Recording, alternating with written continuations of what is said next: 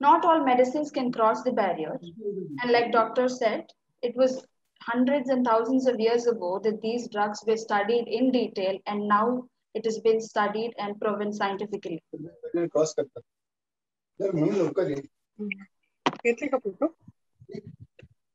Ashwagandha. So Ashwagandha, the English name is Indian ginseng. The scientific name Withania somnifera for medicinal purposes, the main part of the plant that is used are the roots. So it comes under the category of Balyagana Dravyas. So basically in Ayurveda, the medicinal herbs are categorized into different groups or what we call the ganas based on the therapeutic properties that they possess. For example, there are herbs that are grouped uh, to enhance the complexion, to enhance the intellect, to enhance even the urine output. So one such category is Balyaganas, which means to strengthen the body, to increase the immunity, to nourish the muscles and even increase the muscle mass and to maintain a healthy and mind and body as well.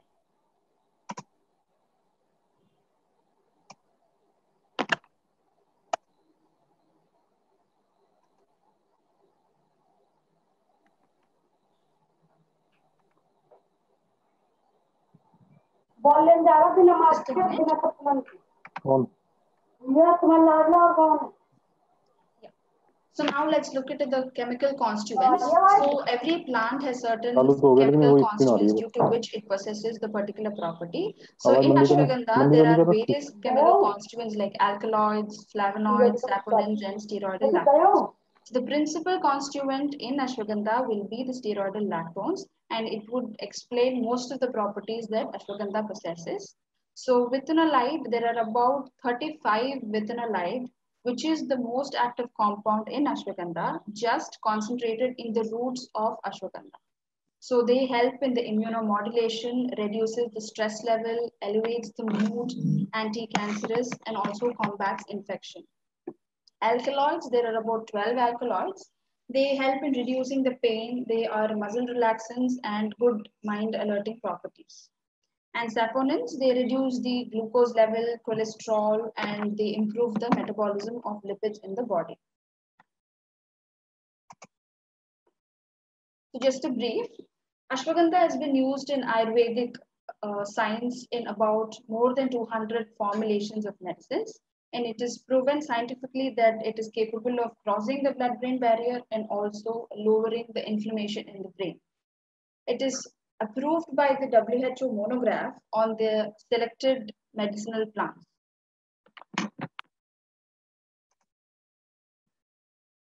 So let's look into the therapeutic uses of ashwagandha that are coming into action in multiple sclerosis.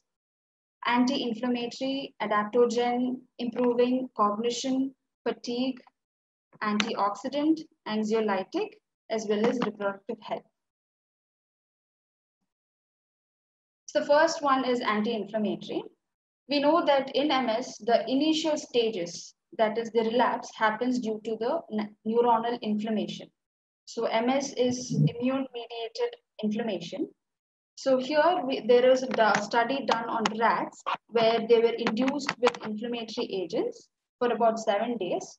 And later they were given extract of ashwagandha, that is Withania somnifera extract. The root extract was given in two different dosages. One was 600, the other was 800 milligrams. And contrary to that, methotrexate was given. And uh, methotrexate again is an immunosuppressant, which is widely used in modern medicine for inflammatory uh, conditions like uh, arthritis. So here we can see that there was after uh, giving the ashwagandha root extract, the arthritic score has declined significantly from 3.5 to 0.50 in the groups that we treated with ashwagandha. Other criteria like the paw thickness, body weight, and the ankle size, that is the site of the inflammations were compared as well. So here also we can see a huge uh, decrease in the number and comparatively compared to uh, methotrexate that is an immunosuppressant, ashwagandha has also shown to act significantly. And methotrexate also is seen alongside lot of side effects such as uh, loss of balance, infections, prone to infections more. Uh, and we, it is also uh, seen to have symptoms that can accelerate the uh, MS. There was also a primary study that was done in rats. Though they were treated with uh, the root extract of ashwagandha for three days, and an hour before in, inducing inflammation, they produced they produce reduction in the inflammatory reaction. So this is compared to that of hydrocortisone, which is again an immunosuppressant uh, that is used in modern medicine and it slows down the body's immune uh, responses and reduces inflammation.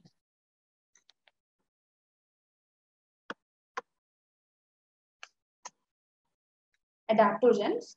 So adaptogens are non-toxic substances that increases the body's efficiency to resist the damaging effect of stress and they also restore the normal functions of the body. Properties of adaptogens are they are neuroprotective, they fight against fatigue, they're also immune stimulants, the uh, CNS, that is central nervous system stimulants, and antidepressives. So there was a study done in two phases. The first phase, it was a 21 day study on rats, and they were induced stress by giving an electric shock at the tip of their feet. As a result of which they had immense stress and the stress, they had other stress-induced symptoms like immune suppression, cognitive deficit, depression, and uh, sexual dysfunctions as well. So the second phase, the same rats were given the uh, ashwagandha extract, the root extract, one hour, just one hour before inducing stress. So this, it, it, it the result was there was a reduced frequency as well as severity of the stress seen. And when this stress reduced, the other symptoms that were associated, like the immune suppression, uh, the cognitive deficit, and depression, also came down.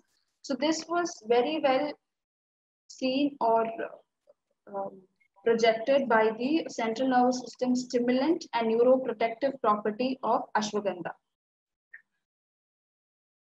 So in relation to MS, the adaptogen can be explained since most of the MS patients, they undergo stress and because of stress, they have symptoms such as cognitive deficit. Stress can also induce depression and anxiety and immune related responses like exaggerated uh, immune response or infection or such. Cognition. So cognition is uh, a part of higher mental functions.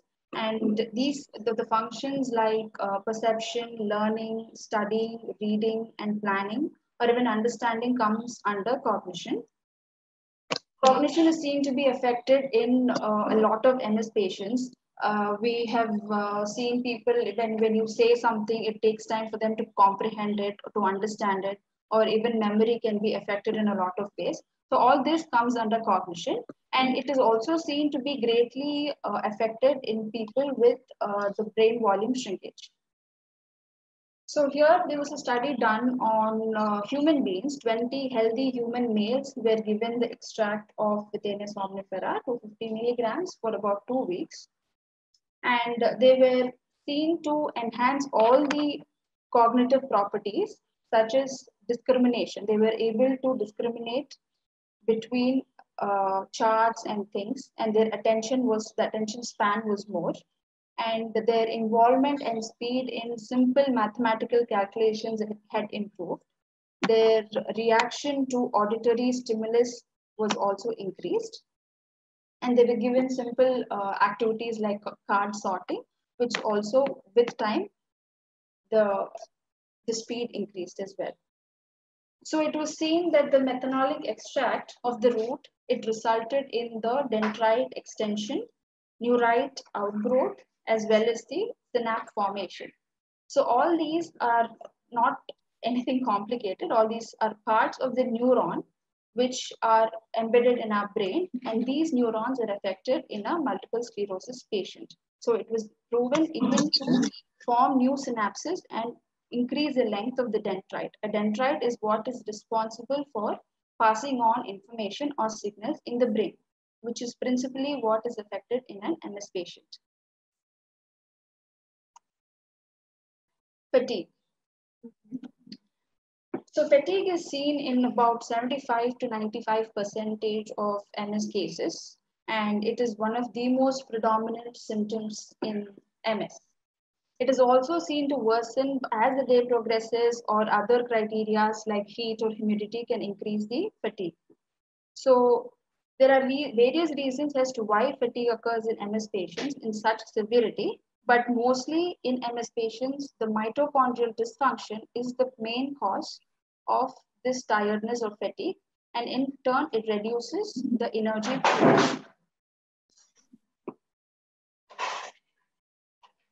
There is also a theory in uh, MS patients that most parts of the brain have to do more work as to someone without MS. So in a sense, they are working as harder and because of this is why an MS patient has more fatigue or tiredness. So mitochondria is nothing but uh, the storage. It is mitochondria is an organelle or a small organ in the body, which is a storage of energy. So it is the cell structure is dysfunctional. So mitochondria is basically a chemical form of energy from where our cells derive energy to do various processes in the body. So for fatigue, there was a study done on mice for 15 days and they were made to swim for all the 15 days for six minutes straight. So this decreased the uh, antioxidant enzymes, the naturally occurring antioxidant in the brain. So once this decreases, there is some stress. And because of this stress, fatigue can be caused. So once the antioxidant levels had decreased, the ashwagandha root extract was given. And this in turn led to the optimization of the mitochondrial function. And once the mitochondria was set back into the normal functioning, there was increasing in the natural antioxidants of the brain. Anxiolytic effect. So anxiolytic are drugs or substances that help to reduce the anxiety, stress, depression, uh, mild grade uh, obsessive compulsive disorder or any kind of nerve uh, excitation. So anxiety can be seen in most of the uh, most of MS patients, uh, from small to bigger things, from doing their daily activities, they can be really anxious, they can be really stressful. And because of this anxiety and stress, their daily routine or even sleep can be disturbed to a greater extent.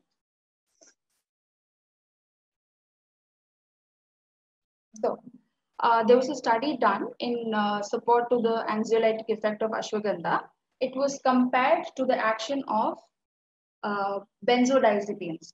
So benzodiazepines are psychoactive drugs that are used in modern medicine. They, uh, sedate a person and they raise the level of GABA. So GABA is just a neurotransmitter that inhibits or slows down the signaling in our brain. Okay, so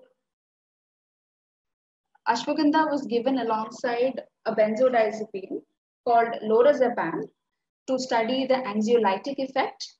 And it was also given alongside imipramine, that is an antidepressant, widely used antidepressant. And as a result of which, both the studies showed, ashwagandha showed an equivalent or it was compared equally to the effects of anti-anxiety or anti-anxiolytic effect as well as antidepressant effect. And it was proved to act just like imipramine and provide to be a mood stabilizer not only did ashwagandha help in the antidepressing effects and calming the mind, just like imipramine and lorazepam, it also did not have any side effects. So imipramine was seen to have side effects, even though it is an antidepressant and it is given in panic disorders, it has side effects such as dizziness, loss of appetite, and toxicity. So dizziness, giddiness, and loss of balance are all the symptoms that you can see in an MS patient. And lorazepam, uh, it, it, it is an anti-anxiety drug, but it has side effects such as blurring of the vision, loss of balance, loss of libido, that is loss of uh, sexual urges, and even suicidal thoughts. So not only they are prescribed in a lot of patients, they also have side effects that can accelerate your symptoms or progress your disease.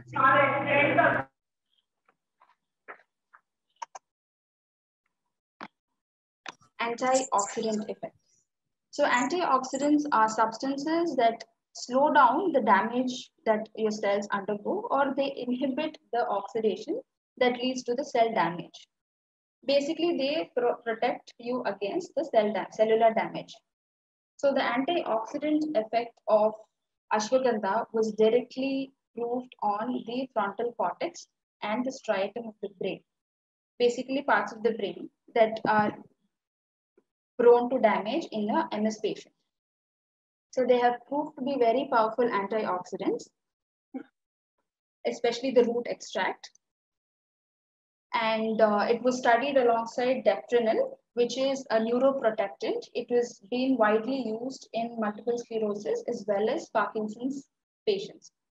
So it was given alongside 10 milligrams of glycowithanolide, which is a steroid lactone of ashwagandha, so it directly increased the naturally occurring antioxidants in the brain and it was seen most active on the 14th day and the 21st day of the study, that is ashwagandha, while deprenyl was effective most evident only on the 14th day. So we can see that ashwagandha is more efficient, efficient and faster in action and they inhibit the neuronal damage that can happen in MS and they can protect against any degenerative progression.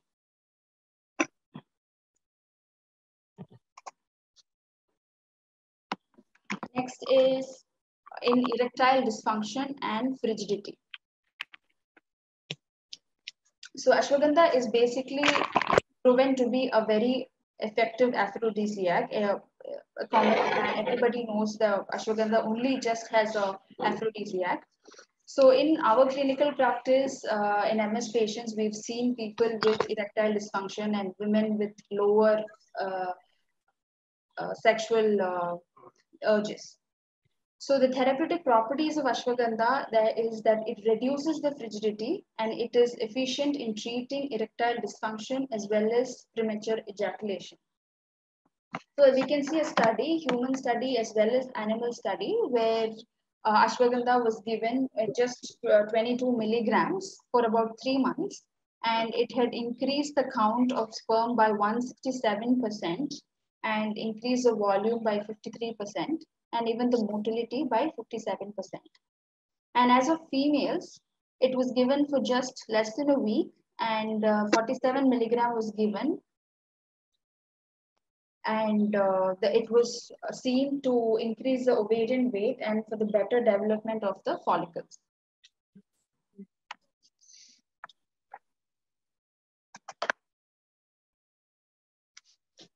So that is about the therapeutic uses of ashwagandha. So here are few formulations that can be used on a daily basis. So here we can see the first formulation as an anti-inflammatory. It can be used in case of erectile dysfunction, hypothyroidism, to improve the cognition and fatigue.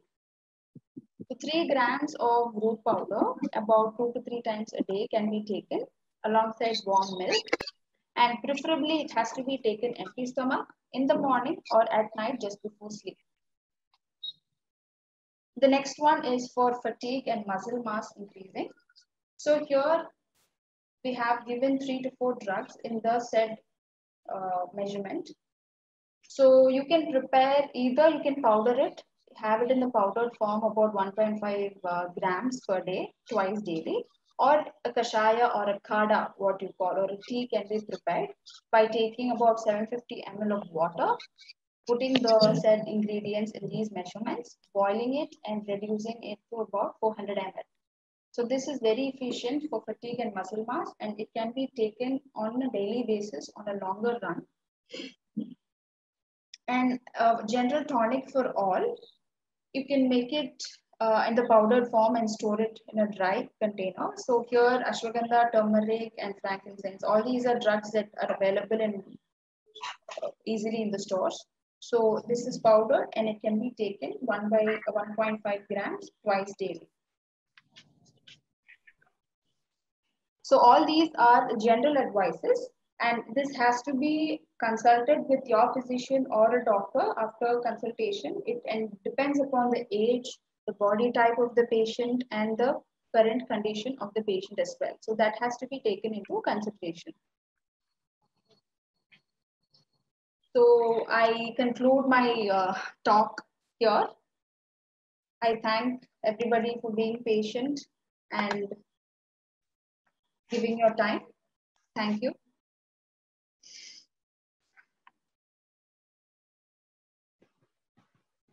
Good evening, everyone. So in continuation with the topic, uh, drugs that cross the blood-brain barrier, I'm going to be talking about the drug, uh, the herb called Brahmi. So this is Brahmi. Hope you can see this. You would have cro uh, crossed over this herb a million times, but then this herb being so tiny, you wouldn't have noticed it. But uh, do not go by its size, but know, it has a wide variety of wide range of medical values that I'll be explaining in the upcoming slides.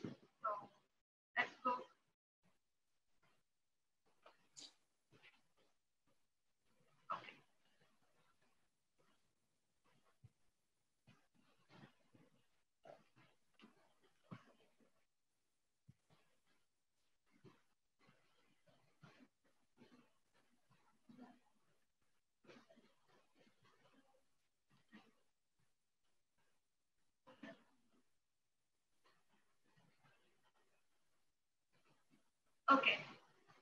So let's start with Brahmi. So Brahmi is uh, monnieri, also called as Brahmi, is one of the most honored medicinal plants which is being used in Ayurveda since 3000 years.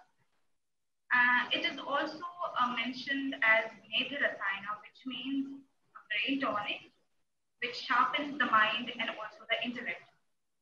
So uh, the mention about Brahmi is given in Ayurvedic texts or Samhitas, where Charaka has mentioned it under the Prajasthapana Dravya, Prajasthapana Dravya, which means it stabilizes the.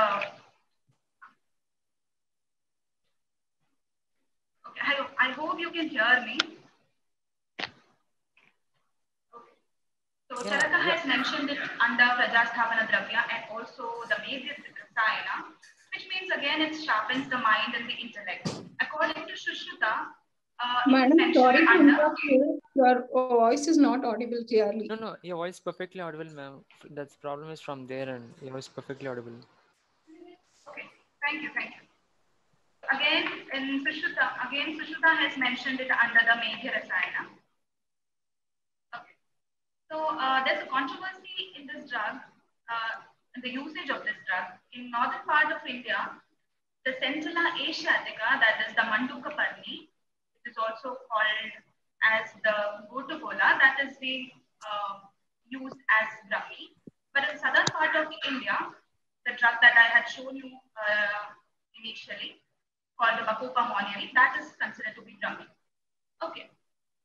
So Charaka has said that both are uh, promoting the cognitive functions, Brahmi is said to be superior than that of Mandukaparni. Okay. Brahmi can treat insanity and epilepsy, while Mandukaparni is a general rejuvenating tonic, which can, you know, uh, improve the mental health. Brahmi especially can be used in neurodegenerative conditions like MS. So uh, next comes how safe is Brahmi. So you must have heard about uh, Swarna Bindu Prashana, which is uh, an Ayurvedic immunization procedure that is uh, uh, given in children to enhance the immunity, the digestive power, memory, and other bodily developments. Okay, so it is given in the dose of two dro- drops from birth to up to the age of one year. So it's also given in children up to the age of 16 years, but uh, in a higher dose, that is four drops. Okay.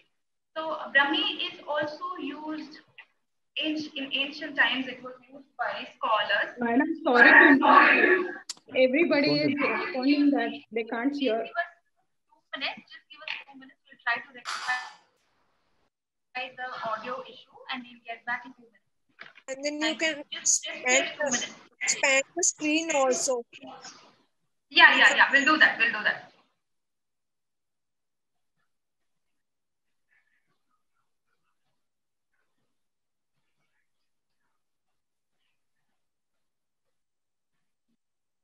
Mm-hmm.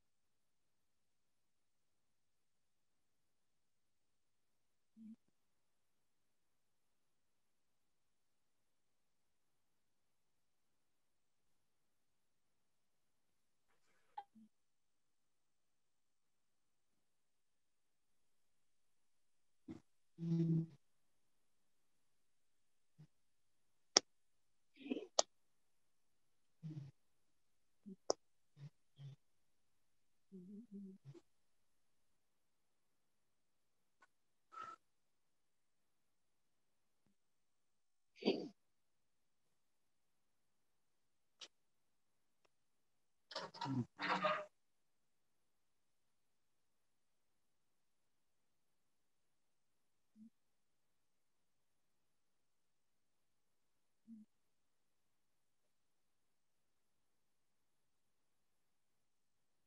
Thank you so much.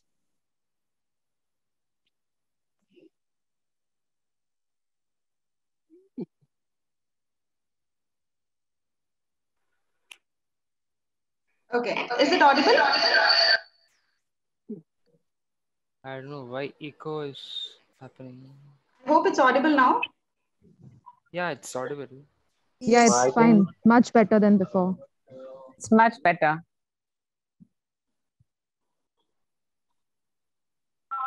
Your voice is echoing, maybe because Okay. of sitting in the empty room. So, yeah. So it is uh, also used by scholars and students to help with memorizing lengthy Vedic texts, which means it has a ability to, you know, retain the memory, retain information.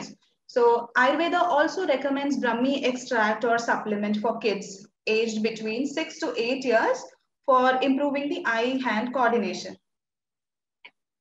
Okay, so coming to the chemical constituents, the uh, active constituent of Brahmi is said to be extracted from the leaves. The main uh, part is the leaf, and they are called the steroidal saponins, which include the bacoside, uh, which are the primary active principles. Okay, according to a study, it was found that there were 52 biologically active plant derivative molecules, among which we have bacoside A, uh, which is said to be the most important uh, ingredient or the chemical constituent, which is uh, functioning on the cognitive aspect of the brain. So, yeah. So they are also said to be the um, main constituent which is responsible for most of the pharmacological actions. So the other constituents are the bacosaponins from A to G, bacopasides, nicotine, D-mannitol, brahmic acid, and also the there are two flavonoids that is apigenin and luteolin, which are considered to be good antioxidants. Okay, so uh, coming to the effects of bacosides, bacosides, as I already told you, are the main constituents which are responsible for most of the actions of uh, the Brahmi plant. So what they do is they can enhance the memory, uh, also cognit cognition, and it's also a new. Uh, it also shows a nootropic effect, which means uh, they they can boost the brain performance or improve or enhance the memory.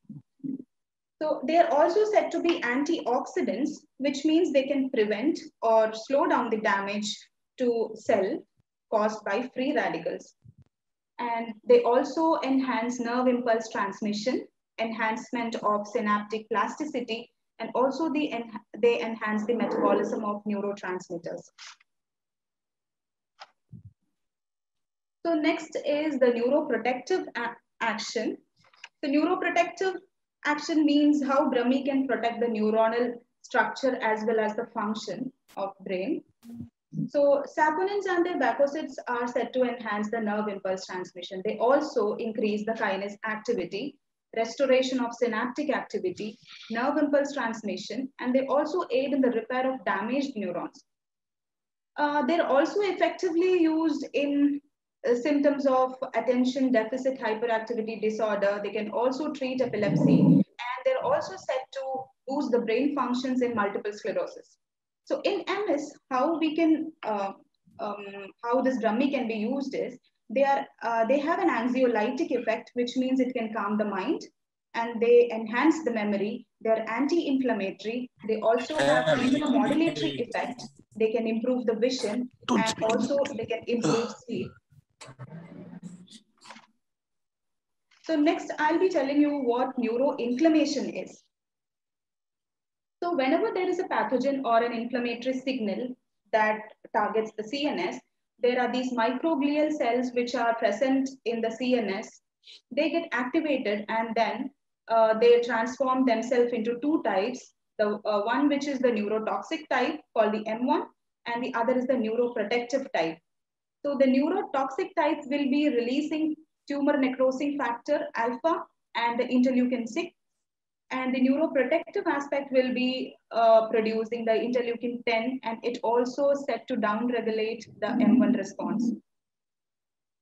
So uh, whenever there is a chronic inflammation, chronic inflammation as in uh, Parkinson's or Alzheimer's or especially in MS, okay, so whenever there is a chronic in inflammation which is caused due to an imbalance between the M1, M2 and also a major injury or a disease like MS, there uh, these microglial cells, which I said earlier, they'll be they'll remain in the M1 phenotype, which further creates the inflammatory response. And finally, there is neuronal cell death. This is exactly what happens in MS. So there is uh, two type of uh, neuroinflammation. One being the short-term one, which is caused due to an injury or a disease, and that can be cleared by, I mean, that can be treated by clearing the debris or destroying the pathogens, while the long-term inflammation uh, can lead to a neurodegeneration like in multiple sclerosis, Alzheimer's disease, or Parkinson's disease. So uh, this activation and up upregulation, this is not only seen in a neurodegenerative disease like MS or Parkinson or uh, even Alzheimer's, but also in psychiatric diseases like anxiety, depression, and schizophrenia. So the Bacopa, that is the Brahmi, has shown to have an anti-inflammatory effect on macrophages, and they also is said to inhibit the release of interleukin-6 and also TNF, that is the tumor necrosing factor alpha. So uh, coming into the uh, anti-inflammatory part, as I already mentioned, the inflammation is the body's natural response to a, a, you know to help and fight a disease healing and fighting a disease. As i already told you these uh, uh, brahmi can suppress the release of pro-inflammatory cytokines. And they can also inhibit enzymes such as cyclooxygenases caspases and lipoxygenases okay anti-inflammatory effects comparable to those of diclofenac and indomethacin. That is, these are the drugs that, which are given, uh, especially in case of an inflammation. These are uh, non-steroidal anti-inflammatory drugs, which are given in case of inflammation, uh, pain, um, swelling, redness, etc. So Brahmi is said to have an effect which is comparable to diclofenac and indomethacin. So there was a study which was done on rats um, where uh, the they were given an intraplantar injection of carrageenan. Carrageenan is a substance that is extracted from uh, the red seaweed. They were injected into the paw of rat and in, induced, I mean, inflammation was induced. Then for a period of time, they were studied and uh, Brahmi extract was given to them. And finally, the result was there was significant anti-inflammatory activity, and they also said to suppress the level of pro-inflammatory cytokines. So uh, what it shows is it is very effective in healing various inflammatory conditions. And MS also being, uh, MS, there is also chances of having inflammations which can lead to progression of the disease. There we can use Brahmi for a long time without any side effects. Okay. Uh, next, I'll be telling you the anti-inflammatory part, which happens in MS.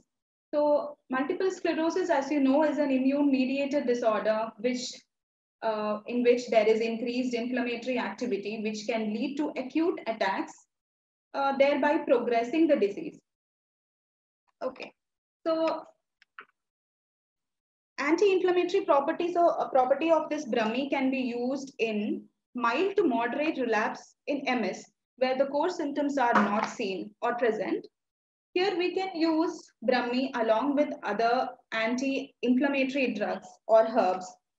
People who are allergic to corticosteroids or people who are worried about taking corticosteroids for a long time due to its serious side effects, they can go for Brahmi with other anti-inflammatory uh, drugs. Okay, so um, you can actually minimize the use of taking corticosteroid unless there is a serious inflammation. Otherwise, you can go with uh, Brahmi and other inflammatory, anti-inflammatory herbs to um, control the infl inflammation. So next we come to the anxiolytic effect. So anxiolytic means it has a property to reduce anxiety. And it is also considered as an apoptogenic herb, which means um, it, you know, it, which is the death of a cell that happens or occurs as a normal part of an organism's development. It is also said to prevent anxiety and stress, elevates mood, and reduces the level of cortisol.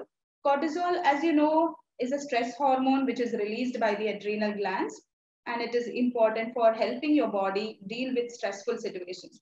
It is also said to increase the level of serotonin. Serotonin is a hormone that will stabilize your mood, your feeling of well-being and happiness.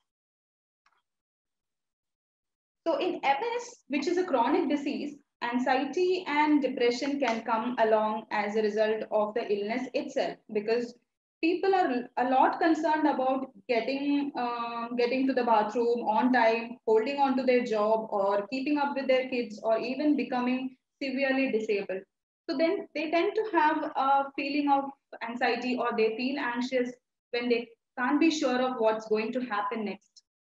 So anxiety may be they can that can be even more you know an issue if a person it's um, they tend to worry a lot even before the diagnosis of ms so in such people the effect of anxiety will be more so brahmi can uh, which has an anti uh, i mean anti anxiety or anxiolytic property can be effectively used here.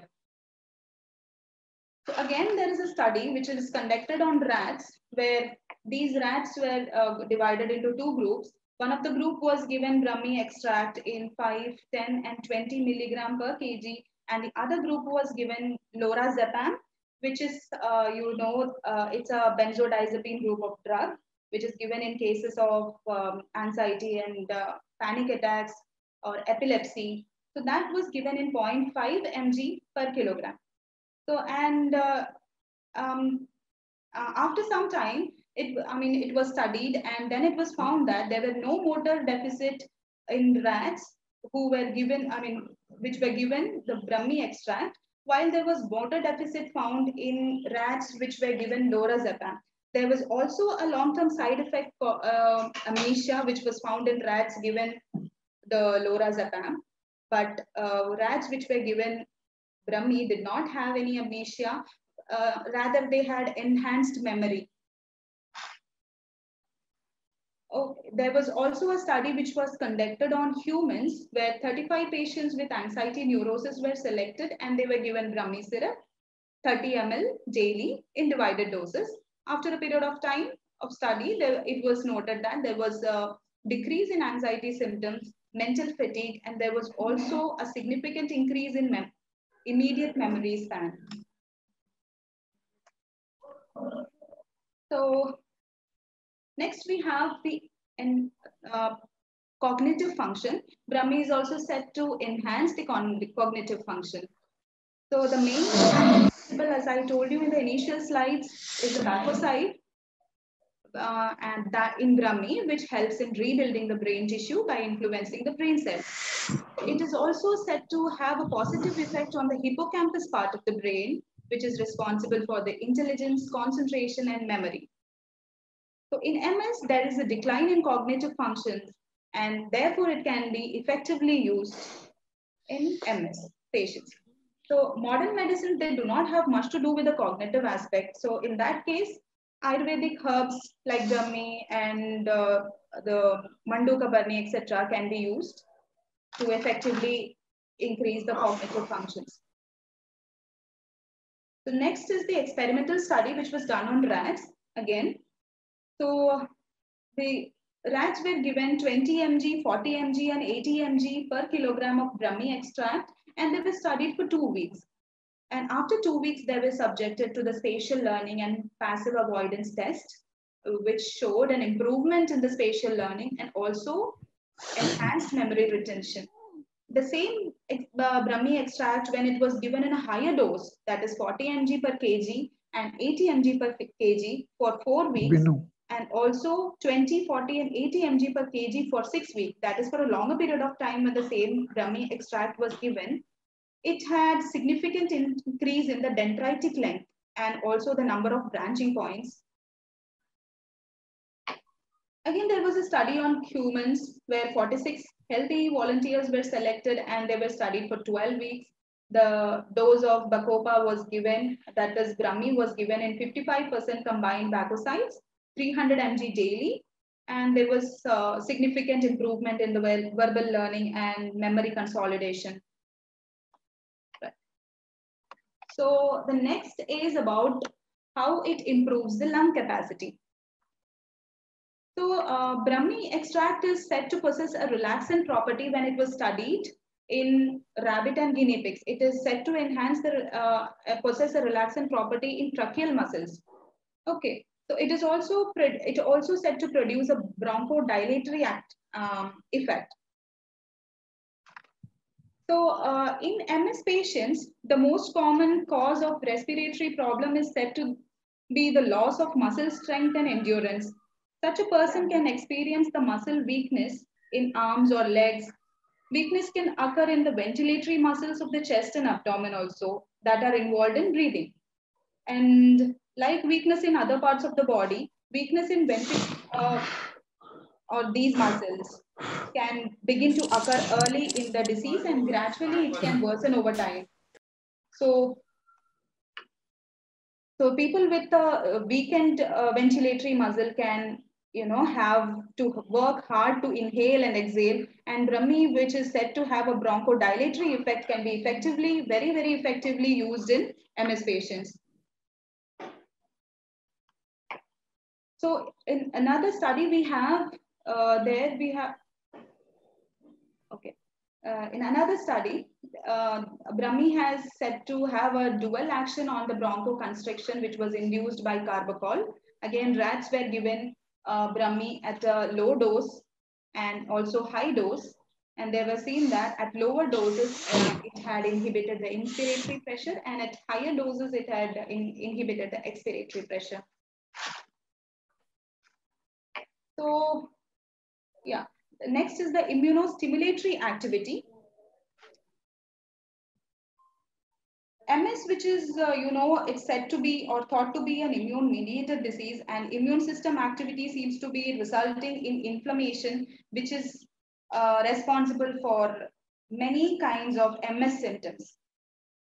So uh, most, uh, what the uh, modern system of medicine can do here is immuno immunosuppression. You all know that, which will in turn make people more vulnerable to other infections. But Ayurveda, we do not have any, uh, or we do not believe in any such term called immunosuppression, but instead we follow immunomodulation as well, and also uh, immunostimulation, where the body's natural resistance to the disease, I mean, to the disease causing agent is enhanced rather than directly neutralizing the agent itself.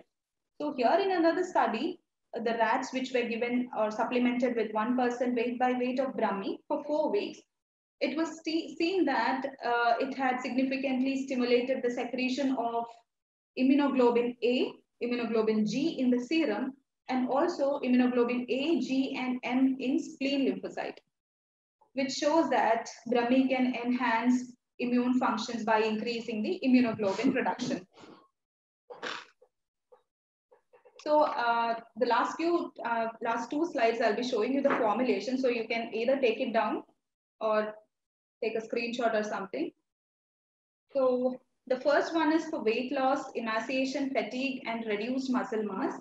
This is in general, you can give, I mean, anybody can take it, but in conditions, I mean, specific diseases, one has to always go to a physician, get, cons uh, get consultation, and then take uh, the Ayurvedic medicines. So here for weight loss, emaciation, fatigue, and reduced muscle mass, Brahmi, it can be taken four, four grams of it. Shira Vidari, which is also called as the giant potato, six grams. Dried ginger, two grams. Kashaya can be prepared with uh, 750 ml of water and it can be reduced to 400 ml. It should be taken 200 ml twice a day. In case of constipation, the dried ginger can be replaced with long pepper. Okay. The next formulation is to improve the breath volume, which is again uh, a very serious uh, problem which is seen in MS patients. Here you can use Vasa, which is called as the Malabar nut, 4 grams of it. Brahmi, again 4 grams.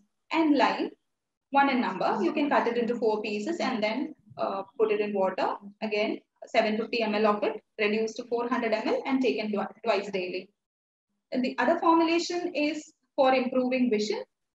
So the first drug is Adabadian, which is also called as the holostemma, 6 grams of it.